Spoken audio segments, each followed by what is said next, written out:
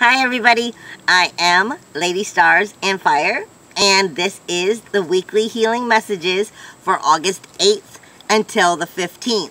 Now, um, I always go into a little bit of astrology and I also give the runes that were given to me from Spirit and I give a little bit of spiritual information that was also given to me just in general each week. This is why I call it the healing messages. I specifically ask for guidance to help us move forward in the most positive healing ways within our life, period. And I ask that it's given for any and all who check in with the messages. Now, um, I'm being told first off this week from Spirit, it's all about your words. It's all about communication. Um, how is it that you're using those words? uh, it is transformation through words, knowing of knowledge, knowing of your education, of inspiration, and how it is that you're using it to communicate. Um, so ultimately, it's using your words wisely also. Um, it's all about how we're going to grow right at this moment. Um, and and learning how, not just through communication, but we're going to find out that this week's going to have a lot to do with what you put in is what you get back. Basically, are, are you nurturing what you are growing in your life? Um, because depending on how much energy you're putting into it and how you're doing it properly will depend on just how well it's coming back to you. So it's sending out to the world as well as bringing it back. It's karma in a sense too. So you want to look at these areas with how you're communicating. Make sure that you're using it wisely and, and stuff along that way. But also allow that inspirational energy to come in and help you through. Um, we're looking at the long haul this week. This week's not going to be just about just this week is what I'm getting.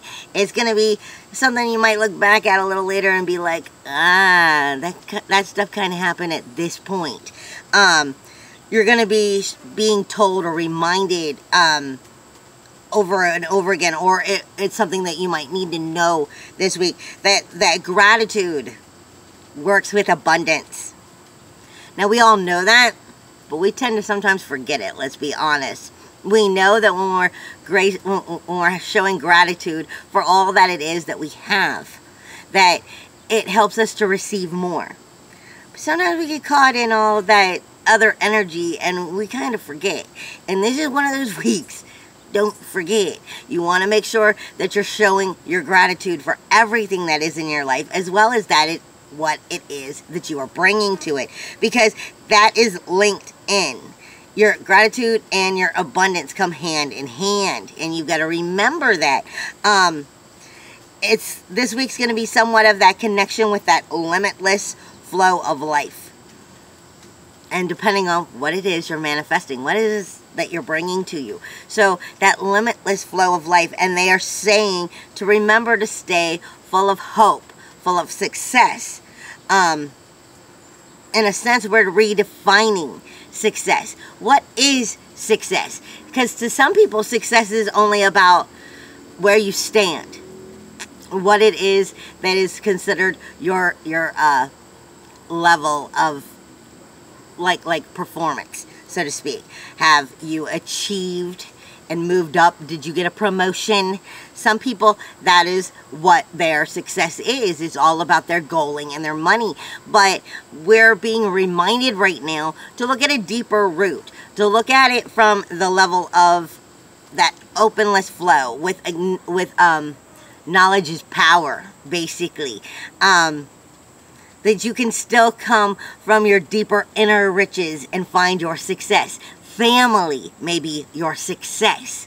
Um, they're saying you can get what you want with that knowledge is power, but remember that it came from in here. It came from the, the riches that are within you first, not just the successful level. Um, and what was branched outwardly. So it's remembering to start inwardly, not just look at success as money or something along that line. Look at it at the longer haul. Look at it at how you got it. Your inner riches that helped you get there. That's what's going to be being important. Um, then I'm also being given a lot of uh, Himalayan sea salt. Um, and for me, that usually means like a cleansing. Cleansing of yourself, cleansing of your soul, maybe cleansing of your body. Um, but it's like a gentle cleansing. It's like a protective, gentle cleansing. I'm also being given a lot of rose quartz, which would be all about bringing that love out, that unconditional love out. And um, citron. Citron is, I believe, if I'm correct, citron, the stone is, um, it destroys negativity. It just destroys it period. And it's the success stone as well. So I'm being given that combination. So that's somewhat of the feel that we're going for. It's a it's a successful week, a successful pulling week, but a coming and tender from love is what I'm getting. Um, now, to start off the week, I'm actually going to go to the end of the week um, because Saturn goes direct. But Saturn will be going direct on the 13th, which is Saturday. Now, We've been in retrograde for a while, Saturn has. And let me help explain to you what some of that may mean. Because Saturn, when it's direct in general, usually is about your boundaries and your rules. It's, you know, what is, where's your boundaries and what are your rules in this situation outwardly. Um, it is withholding versus resistance. It's sometimes when we find ourselves in our Saturn, we don't act it's where we find ourselves, uh, if I don't know exactly what to do, then I'm not going to do anything. And that's those whole boundaries and resistance thing. This is your Saturn inside of you. It is your patience, your endurance, your responsibilities, your organization, your structure, your guidelines, and how we learn of these things, how we are able to handle and work with you know, our patience, our endurance, our guidelines, our organization, our structure, all of that because that is boundaries for us. This is where we learn all of this energy. But with Saturn going direct, right before it goes direct, it may be taking that last inward glance really hard at you inwardly. Because anytime we're in retrograde, it's like instead of the projected outward energy, it's like it turns and it kind of egotize it becomes ego and looks at you and makes you view things. So it's been showing us where our patience really isn't there. It's been showing us where we're not coming through with our endurance. It's been showing us where we're not fully being responsible. We're not holding up our responsibilities where we're not organized, where we don't have structure, where we're not following guidelines, basically, that are important within our life. Um, we're not digesting things maybe properly. Um, that could go for food because it could be for your diet, but it could also be. I tell people all the time your digestion process is not just what you eat, it is what you consume in your life, period. So, what are you consuming? And are you giving it the proper time to digest and work through that? That's patience, honey. It's that simple. Um, so when we're going direct, this is all the stuff that we look at outwardly. Sorry, you just had like bug it bite me or something. Um, we're looking at all of that outwardly. But since we're about to go direct, we're still in retrograde. We might be taking that last little hard look. And you might be noticing these areas. And that also means we're about to enter the shadow of it as well. So we might be getting a little bit of smack of, of reminding of those areas, but that's a good thing because it's to help us move forward. Now, the week starts off in Libra. Libra is all about balance and harmony. It's all about equal. How are we equal? How do we make things equal? That would be the balance. That would be finding harmony. It is all about our charming personality, our social communication again. So how do we stay equal? How do we make things neutral? How are we, you know, finding harmony within our relationships? That is Libra. Then we move into Scorpio throughout the middle of the week. And Scorpio is the art of strategy. Really, that's what Scorpio comes down to. Scorpio, oh, Scorpio is great at analyzing and determining situations. It's great at let me be the detective and find out exactly what it is I need. And it's emotional. Oh my, Scorpio can be highly emotional. It's a water sign and it, it just like goes into overdrive. So you want to watch for being crisis oriented. Don't create crises and blow them out of proportion. Um, it's very high emotional. When we're in Scorpio, we feel everything. We feel the love. We feel the joy. We feel all the greatness of harmony and everything that is good, but we also feel the betrayal. We feel when we've been let down, when we've been taken advantage of. This all comes out strongly when we are in Scorpio for the good or the bad. And this is why I said you want to watch out for being crisis oriented at this time. Now we go into the follow into the end of the week, which is the weekend basically with Sagittarius. And it's enthusiastic. It is yearning for more. It is, I'm never completely 100% totally satisfied. I'm always looking for a little bit more. Um, it's freedom oriented. It can be excessive, but it is also generous and it is optimistic when we are in Sagittarius. So that gives you a little bit of the eh, week in general of how you're going to be feeling as we go through the different signs, but reminding you also that, like I said, Saturn is going direct on the 13th. So you're taking a little bit of those last minute views at your patience, your endurance, your responsibilities, your organization, your structure, and your guidelines. You're going to be looking at them inwardly at yourself. And then it'll start to go back out into what you're looking out at the world. And you'll also be heading at that into shadow at the end of the week. So there's a warning for you there. Now, um, mm, we're starting off the week for the runes in Mannaz. And this one is coming in um, Truth and Honesty. And then we also received it also in Rhodonite, which is unconditional love, love of self, love of others and it is also calming and energies. Like I said, it's I'm feeling it's got a lot of love wrapped around it this week, but you're still going to be kind of critical, kind of viewing things, kind of really let me sure, let me be sure kind of thing. Um, Mannaz is man, humanity, people. It is the air. It is the world of people. And like I said, you're going to be kind of analyzing people outwardly along with what it's good for you in here.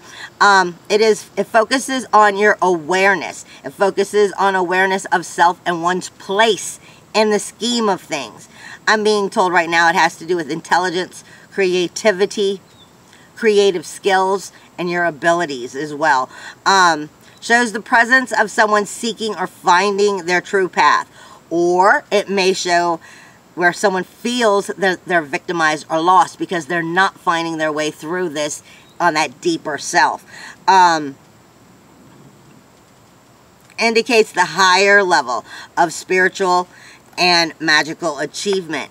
It is self-realization. It is a consciousness of that self-realization and starting to be able to find yourself, the hero within. It is the seeking or the questing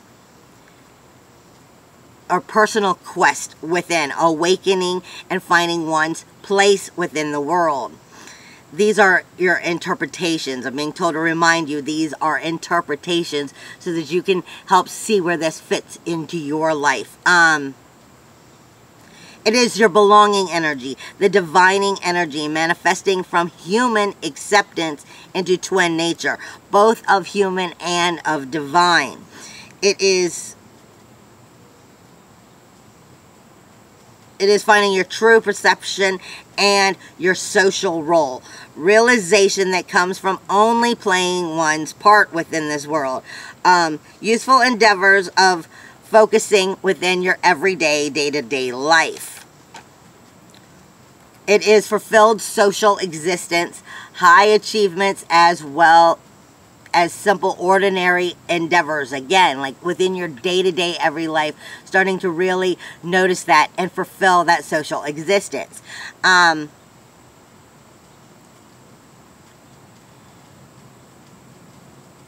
it says focus on ordinary creates extraordinary achievements. So it's it's finding how you and your small life are big honey. And don't forget that because we all have our own individual lives so we're all little in our own lives but none of us are little. We all are big. We all have a big reason for being here a big point. But we're only going to be part of finding that bigness that muchiness that is us if we're playing our part within our life properly. Now the next thing is Kenaz. Kenaz is coming in truth and honesty. Um, Kenaz is true is sorry is torch, craft, cunning, manifesting. It is your character. It is your personality. It points to matters of creativity and of craft. Shows our ability through our natural efforts. Also, we have problems with our creativity when we are out of balance. So you're being reminded also to take care of yourself, to pamper yourself, because you can't have good creativity if you are not taking care of yourself. If you need that pampering, you need that rest time. Lord knows they just gave me that smackdown because everybody heard about my tooth and how I was having problems and I had to have it pulled and it made me sick. And for all of those of you who sent me love and prayers, I thank you. But that's part of it. If you overdo it, you can burn yourself out. So you have to watch your balance. Your balance is important in all things in life. And your balance is your four. It is your emotional, your mental, your physical, and your spiritual. Period. No matter how it is that you're looking at it, your four has to be balanced or you get out of whack. Anyway, back to Kenaz. Kenaz is principle of ignition. It is your start button. It is that go. It is turning it on. Um, creativity expressed in form. It controls us through our inspiration, our knowledge, and our capabilities.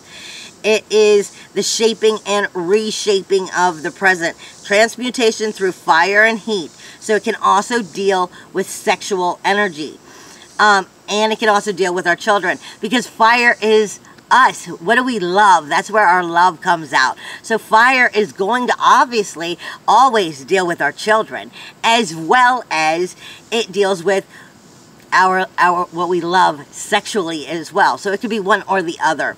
Um, like I said, it may be dealing with transmutation through fire and heat in this expressive um, form, in this creative form, and manifesting and and just cre creative in general for what it is we are creating within our in our life. And then I am being sent to lastly, but definitely not laced, is Gebo. Oh, wrong one. Gebo is coming in awareness. Gebo is coming in awareness and is also in spiritual energy. Gebo is the gift and it is the gifting price. It is exchange, it is fire. It focuses on hospitality and generosity, things given and things received. Some